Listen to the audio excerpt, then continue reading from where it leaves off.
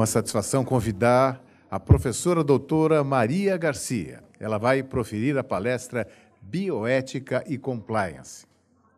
Ela é procuradora do Estado de São Paulo, de PESP, e professora associada livre-docente da PUC São Paulo, professora de Direito Constitucional, Direito Educacional e Biodireito Constitucional, além de professora de Biodireito, Bioética, Biopolítica do Centro Universitário Assunção e também membro do Comitê de Bioética do HCFMUSP. Bem-vinda, professora, uma satisfação. Obrigada.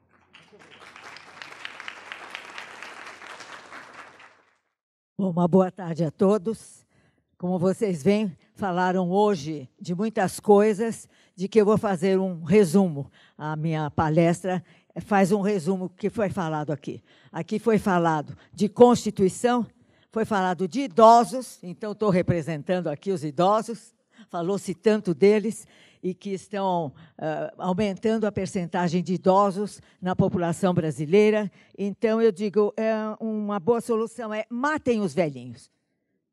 Matem os velhinhos, se estão causando problema. Então, nós temos de pensar em termos muito maiores. Mas falou-se, sobretudo, de ética falou-se sobretudo de ética. E nós vamos ver que toda essa questão levantada, a questão dos hospitais com excesso de pedidos, excesso de clientela, o HC, por exemplo, é um exemplo disto. as, as, as, farmacêuticas, os laboratórios farmacêuticos, com o intuito de lucro unicamente, o lucro é excelente, o dinheiro é muito bom, muito importante, mas não, não deve ser prioridade.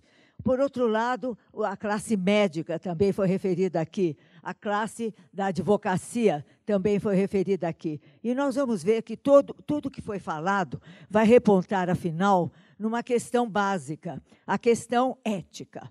A questão ética. Viver uma vida eticamente. Então, falando de compliance e ética, eu acredito que vamos resumir um pouquinho o que foi dito uh, nesta manhã bioética e compliance. Então, primeiro, definir do que, que se trata. A bioética é uma área do conhecimento que trata da vida e da saúde nas suas relações, do ponto de vista da ética.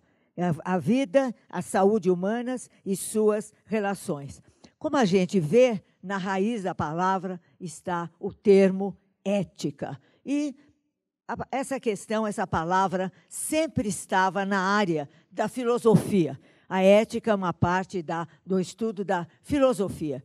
Não se usava muito falar em ética na sociedade brasileira. Ficava uma coisa assim para quem estudasse, quem tivesse certos pensamentos filosóficos e tudo mais. Então ficou uma palavra distante da sociedade. Acontece que a nossa Constituição Federal que foi referida hoje também, ela trouxe pela primeira vez para o texto constitucional a palavra moralidade, a palavra valores éticos. Então, agora, nenhum brasileiro pode desconhecer do que se trata a ética do que se trata o princípio da moralidade pública, por exemplo, no artigo 37 da Constituição, que cuida da administração pública, e todos aqui estamos num ambiente de administração pública. Portanto, se a Constituição agasalhou esta palavra, moralidade, ética, o brasileiro não pode desconhecer esta palavra e vamos trabalhá-la um pouco para ver a sua origem. Ética, etiqué e etikos, vem do grego. Vocês sabem que o português, o idioma português, é formado de dois grandes idiomas antigos, grego e latim. Então, o português, basicamente, é uma, um conjunto de palavras do grego e do latim. Felizmente, não se estuda mais nem o grego, nem o latim. E aí fica muito difícil de conhecer a origem das palavras. Mas a palavra ética, etiqué, ela quer dizer uma simples significação: correção, correto, caráter. Alguns usam a palavra ética no sentido de caráter, mas o sentido grego original quer dizer correto, correção. O que é uma reta? é a menor distância entre dois pontos. Então, se você tiver, sabe, o que você deveria fazer, em vez de tergiversar, em vez de enrolar, em vez de mentir, vá direto ao ponto. Isto é ético. Isto é ser ético, direto ao ponto, como se diz, de uma reta, a menor distância entre dois pontos. Então, a ética, ela estuda a moral das condutas humanas em determinadas sociedades. E ela varia, a moral varia de sociedade para sociedade. Há certos costumes dos nossos amigos islâmicos, com referência à mulher, que nós não usamos na sociedade brasileira. Na sociedade islâmica, você tem de levar um lenço nos cabelos, às vezes você tem de cobrir o corpo, o rosto. Às vezes fica apenas os olhos da mulher, porque ela precisa olhar também, ela precisa se conduzir, mas ela vai completamente coberta. Em casa, não, ela tem muito conforto. Em geral, a sociedade islâmica é como nós, gente como nós, não há nada demais. Mas a moral varia. Então, se você for uma cidade islâmica, por exemplo, como foi uma amiga minha com o marido egípcio, estavam num restaurante e a certo momento ele disse: Vamos sair daqui? Ela disse: Por quê? Está tão bom. Se é que você está sem lenço na cabeça, estão nos olhando com cara feia. E saíram do restaurante, porque podia ser até agredida. E estava com o marido no restaurante. Isso quer dizer a moral de uma sociedade. Os costumes, a maneira de se comportar, a maneira de se conduzir. E vai variar, como eu disse, de sociedade para sociedade. Mas nós estamos na sociedade ocidental. Então, na sociedade ocidental, nós já temos costumes, modos de ser, modos de pensar, mentalidades que têm uma certa uniformidade, da Europa para cá as Américas e a Europa têm o que se chama a moral ocidental, valores atuando em condutas apreciadas pela sociedade ocidental. E, por exemplo, já que citaram a Constituição, eu cito também o artigo 3 da Constituição Federal, que fala a respeito dos objetivos do Estado brasileiro. Quais são esse? Qual é o objetivo? Entre vários outros, construir uma sociedade livre, justa e solidária. Construir uma sociedade livre, justa e solidária. Isso é o que diz o artigo 3 da nossa Constituição. E para nós termos uma sociedade livre, justa e solidária, é preciso primeiramente tratar de certos pontos básicos que foram tratados também aqui, dos quais eu vou cuidar agora. Primeiramente, trata-se de um fator cultural.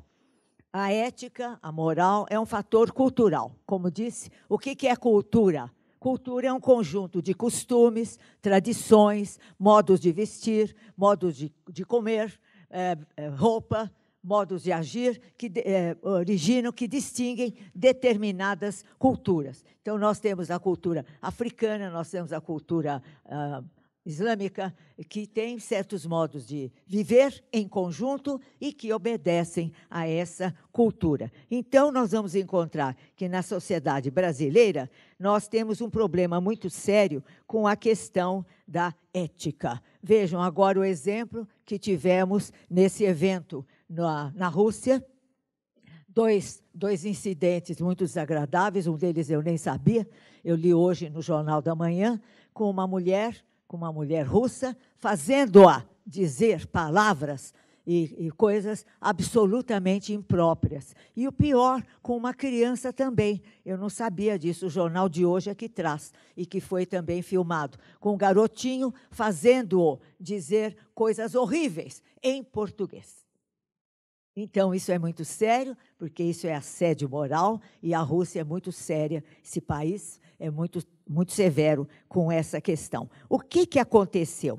De acordo com um artigo hoje de um psiquiatra brasileiro, é que quando nós estamos em conjunto, é, ficamos mais corajosos para fazer coisas que não devem ser feitas. E o que aconteceu com esses brasileiros na Rússia foram pessoas que estavam em grupo e acharam que era uma brincadeira e que repercutiu tão mal no mundo inteiro. Ou seja, o brasileiro causando um vexame desses de nível internacional. E o pior, brasileiros com um grau de conhecimento alto. Não é? Tivemos lá é, pessoas de nível universitário. Então vejam como a palavra ética ela não está muito divulgada no Brasil, na sociedade brasileira. Atitude correta, principalmente na casa dos outros. Então, primeiramente, essa questão é um fator cultural. O homem brasileiro é tão bom ou não como qualquer homem, qualquer ser humano no mundo inteiro. O problema é que a cultura brasileira, ela vai admitir certos modos de agir que são problemas culturais. Nós sabemos disso. O jeitinho brasileiro, famoso, o vexame de atitudes fora do país, ah, costumes, mentalidade brasileira, e por isso que é muito bom que a Constituição tenha, tenha consagrado a palavra ética e moralidade no texto constitucional, que somos todos obrigados a tratar disso, e muito bom também que, num evento como este, venhamos tratar de moralidade, de ética e do compliance, que é a ética instalada na organização. Então, hoje, por força da lei anticorrupção, que tem fundamentos na Constituição Federal, introduziu a moral no estudo do direito, que estava separado direito e moral, e na própria administração pública, que nós estamos aqui num órgão da administração pública. O artigo 5 10 da Constituição fala em indenização por dano moral. Também a Constituição nunca tratou disso de dano moral. O que é dano moral? É aquele dano é, mental, aquele dano sentimental. Algo que fazem a você é aquela dor sentimental, dor interior.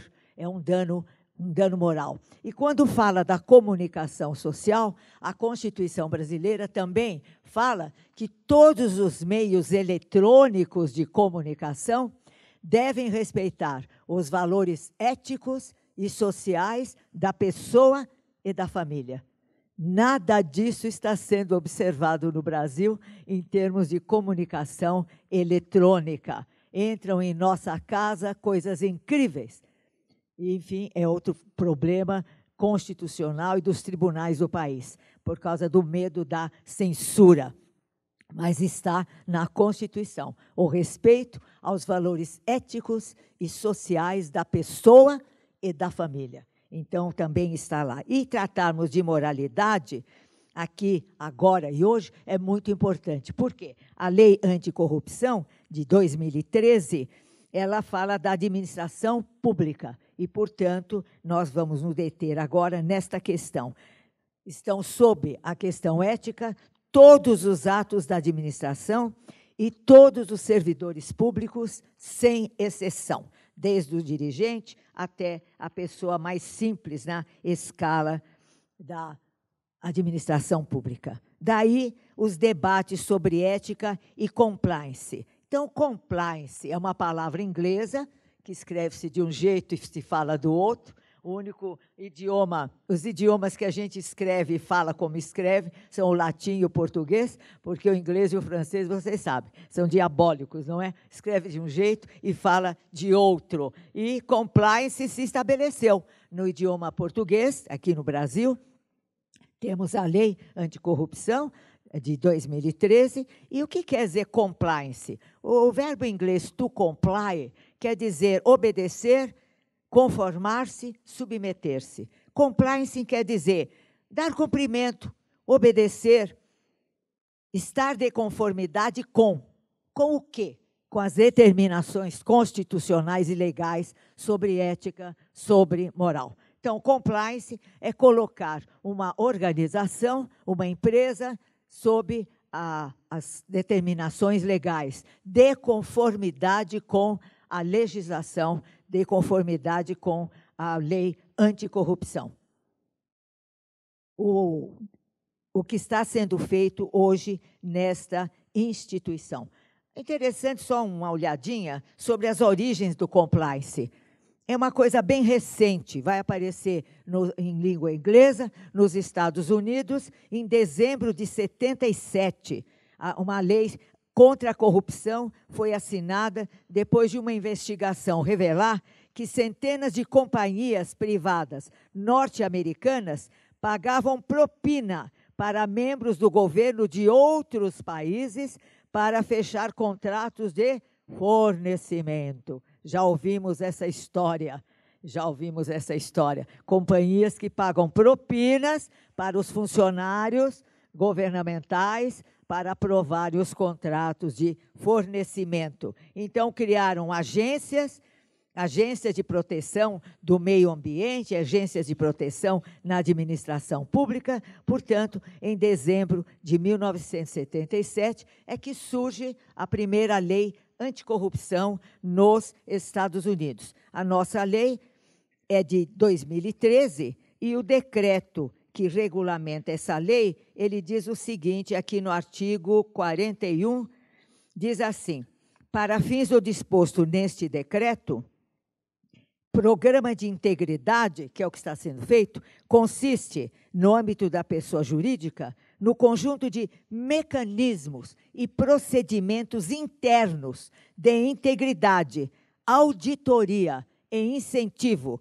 à denúncia de irregularidades e na aplicação efetiva de códigos de ética e de conduta, políticas, diretrizes, com o objetivo de detectar e sanar desvios, fraudes, irregularidades e atos ilícitos praticados contra a administração pública nacional ou estrangeira. Portanto, a denúncia de desvios, fraudes, irregularidades e atos ilícitos praticados contra a administração pública nacional e estrangeira. Então, temos aí lei e devemos segui-la. E o que, que essa lei vai dispor?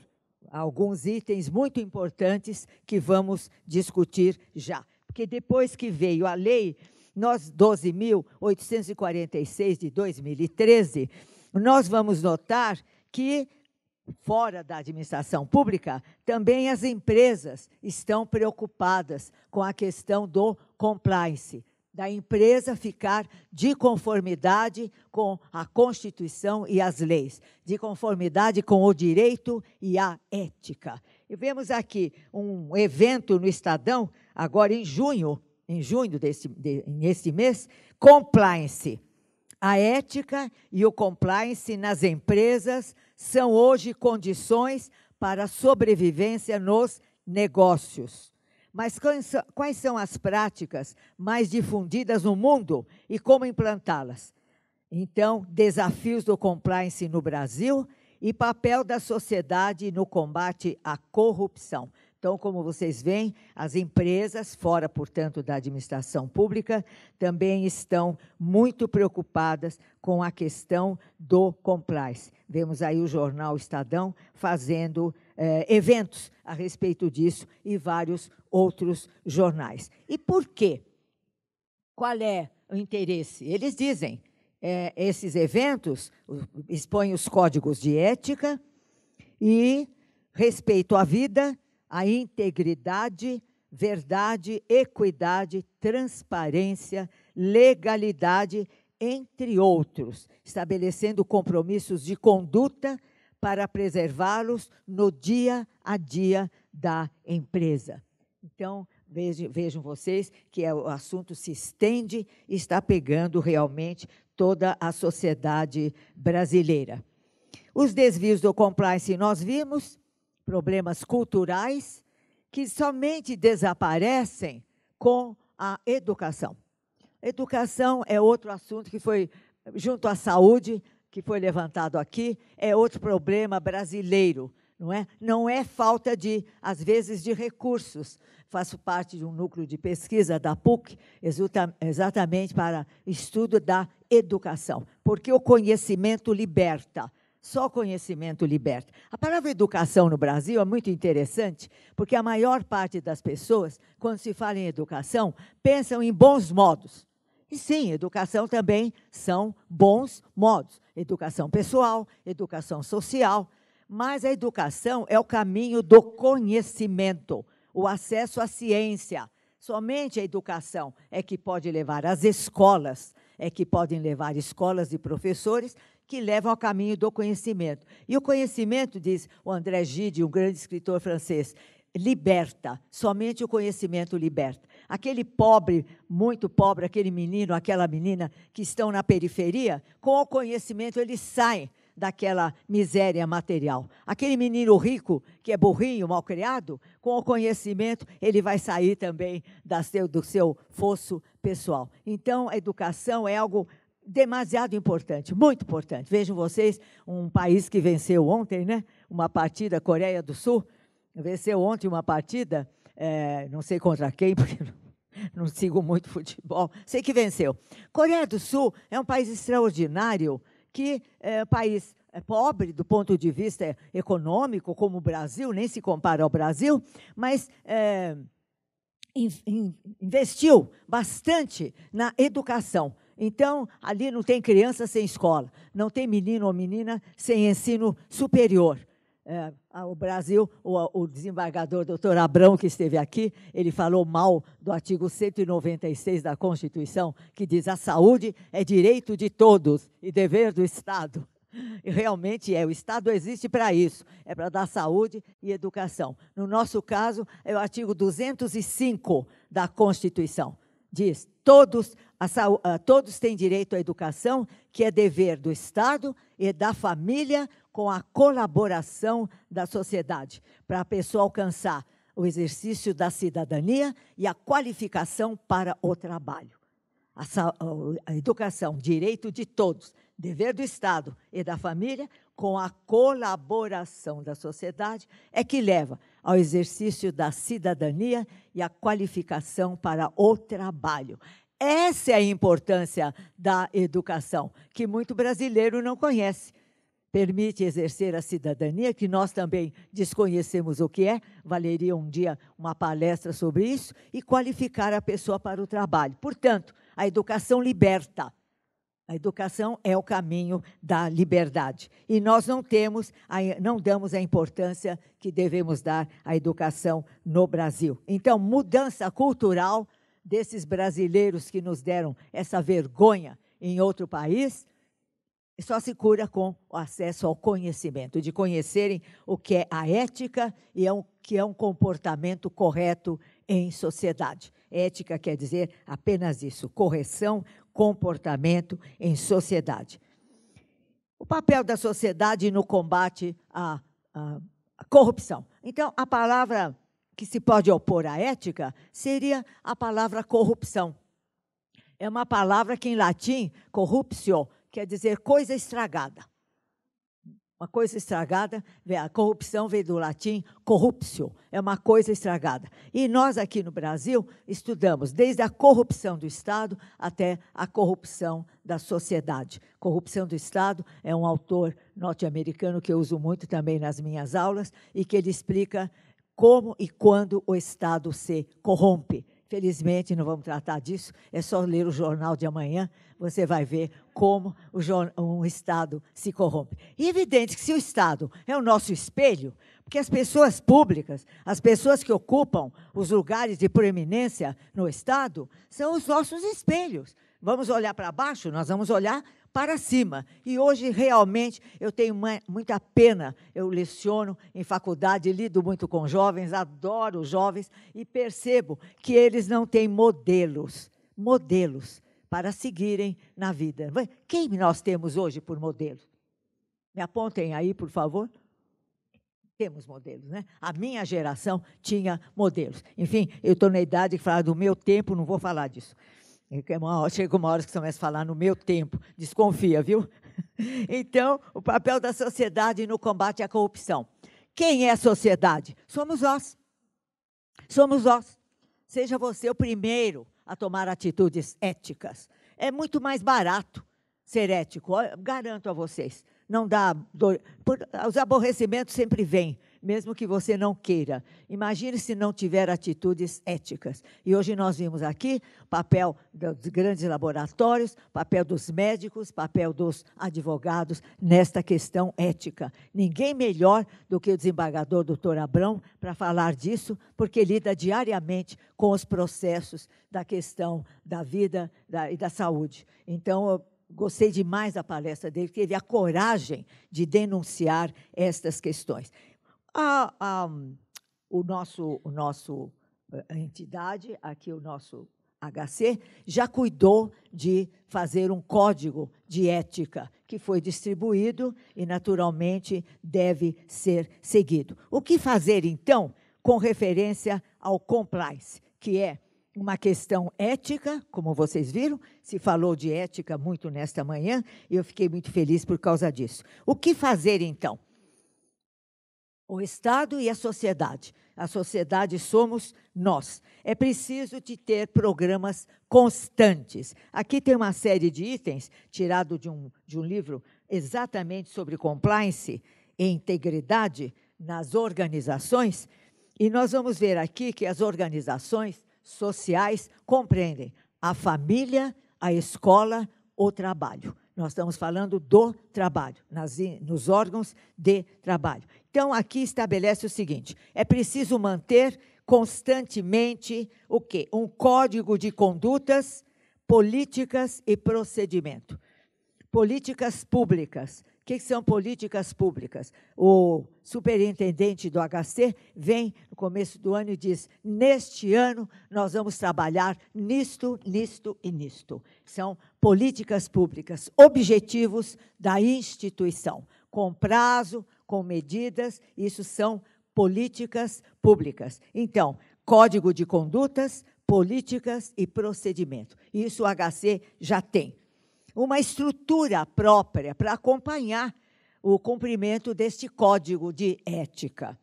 Monitoramento e auditoria. É preciso monitoramento, quem se fica incumbido disso, e auditoria, que é, de tanto em tanto, fazer um levantamento, fazer um estudo sobre a situação dentro da organização. É preciso estabelecer um canal de denúncias e infrações, um canal onde você possa denunciar, onde você possa perguntar, se informar constantemente, permanentemente. E é preciso também um reforço constante, é o que eu chamo de educação continuada. Um, em outras atividades fora da faculdade, tenho sido chamada em empresas para certos cursos de relações humanas na organização. Como que no trabalho nós nos relacionamos? Como nos relacionarmos no trabalho? Pessoas estranhas que se veem dentro de um ambiente de trabalho, têm de conviver 20, 24 horas, digamos, porque você vai para casa pensando no trabalho e vice-versa, e como que essas pessoas vão se relacionar de uma maneira satisfatória, construtiva para todos. Então, há matérias, relações humanas nas organizações, família, escola, trabalho. E é preciso um reforço constante neste sentido. Cursos, debates, reuniões, dentro do ambiente de trabalho. Esse é um problema muito sério. Eu cheguei a dar cursos no meu ambiente de trabalho, na procuradoria, e quando mudou a direção, mudou a superintendência. O superintendente chamou-me lá embaixo, no gabinete, que era lá embaixo, e falou: Eu soube que a senhora dá cursos aqui duas vezes por semana, de manhã, durante o expediente. É evidente, sem prejuízo para o trabalho, evidente, isso não poderia acontecer. Sim, senhor.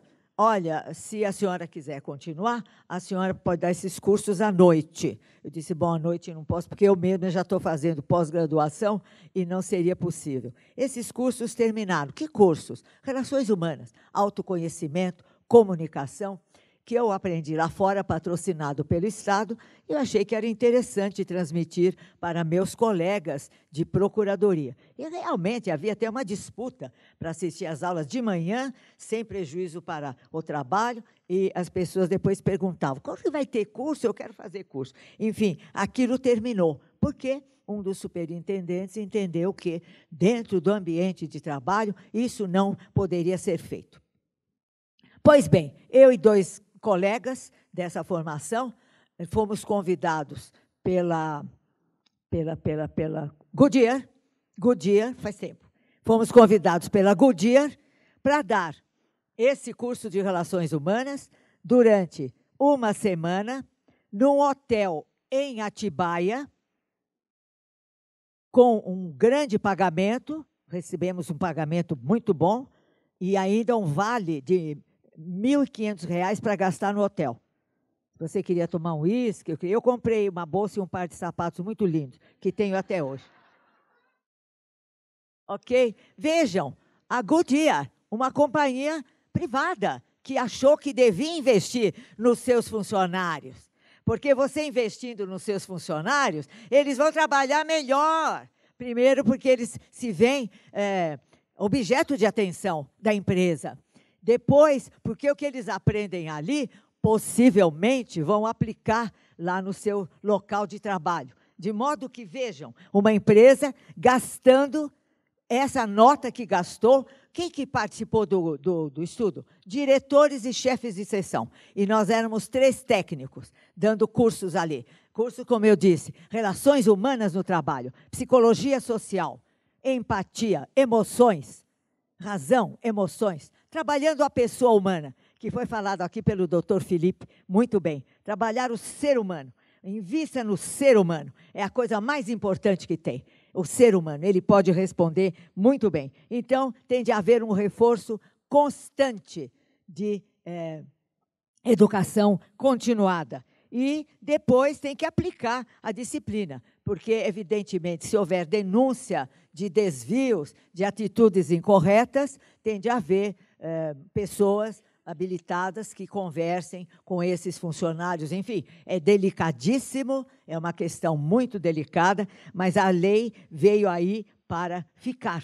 E o HC não pode ignorar esse mandamento legal, por isso que houve já a, a elaboração de um código de ética. Ele precisa ser obedecido, mas a, o reforço constante é muito importante. De tanto em tanto, reuniões, debates sobre o código de ética aí as coisas afluem e às vezes nem é preciso denúncia, porque se você denuncia uma atitude de público sem apontar o dedo para o autor ou para a autora, vai servir de lição muito melhor, às vezes, do que fazer uma denúncia na medida que você mostra, olha, pode acontecer isso, acontecer aquilo, um desvio de função, receber propinas, por exemplo, não é? Eu fui procuradora do Estado e tive um, um conflito ético muito grande, não tinha código de ética na época. Uma senhora veio que era da carteira predial, ela estava comprando imóvel pelo Estado e eu estava com o processo dela na minha mesa. Uma senhora do interior tinha vindo para saber como é que estava o caso dela. Então, estava na minha mesa, atendi e ela me trouxe um par de meias. O que, que eu devia fazer? Aceitar ou recusar? Aceitar. Como é que eu ia recusar? Como é que ela podia se sentir? Como é que ela podia se sentir? Não é verdade? Não. Não podia recusar. Então, isso é coisa que vai acontecer muito na nossa vida pública, na nossa vida administrativa. Aí é que entra a ética, que foi tão falada hoje. E o que é ética? É um equilíbrio de conduta. Você vê uma pessoa simples que te traz um presente, é o que ela pôde dar, aceite-o. Claro que sim, com entusiasmo, com gratidão é, sincera, evidentemente. Então, você que vai ter de pesar tudo que foi falado hoje aqui, com código de ética, com compliance, que é a instituição está de acordo com a lei anticorrupção, a lei de 12.846 de 2013, isso vai repercutir em você, em você, em você, porque é você que representa o HC naquela hora, naquele guichê. Você que representa o HC. Então, isso é importantíssimo. Ah, uma vez também falando palestra na Secretaria da Fazenda, terminando, é, eu uso muito um autor norte-americano, é, Ernest Griffith, que escreve sobre administração pública, o que é um pouco diferente nos Estados Unidos. Mas ele diz uma coisa maravilhosa: a pessoa mais importante do HC é você. Não é o super... Ele está aqui? Não é o super. Por favor, hein? Não vão me dedurar. É o Griffith que diz não, vamos dizer, não é o presidente da República, não é o, o, desembargador que esteve aqui, não sou eu, é você, que é você que faz a máquina andar. É você que faz a máquina andar. A pessoa que carrega os processos, a pessoa que está no elevador, como aquela que está dirigindo, são as mais importantes da organização, porque elas é que fazem a máquina andar. Então, você no guichê, por exemplo, aqui no HC, pessoas tão necessitadas que aparecem, doentes, é, pobres, necessitadas, não é? Tem aquela empatia. Empatia quer dizer colocar-se no lugar do outro. Empatos, está no lugar do outro. Então, basicamente, queridos, educação continuada. Educação continuada. As firmas, empresas estrangeiras investem na pessoa. Educação continuada dentro do ambiente do trabalho, de uma maneira ordenada, sem prejuízo do serviço. Divulgação e discussão do código de condutas. Então, esse código que foi feito aqui no HC deve ser divulgado, deve ser discutido em reuniões pequenas, grandes, enfim, no próprio setor de trabalho. Há muitas maneiras de fazer a divulgação. E, por fim, ações concretas com referência a atitudes éticas na organização. Ações concretas, que você seja a pessoa que viva bem com o seu travesseiro. Quando você deita, você conversa com você, não é? Então, que seja um papo muito gostoso. Muito bem, Simone. Você trabalhou bem. Durma bem. Boa noite. Mexendo com você. É um prazer, então vamos lá. Os valores da ética e da integridade tratados, compreendidos e difundidos em todos os níveis da organização. Em outros termos, seja você a primeira pessoa a cumprir o código de ética para a benefício da organização, porque realmente é a pessoa mais importante da organização, são os seus funcionários. A organização em si não sente, não fala, não vê. É somente você que pode atuar dessa maneira extraordinária. Vale a pena. Muito obrigada.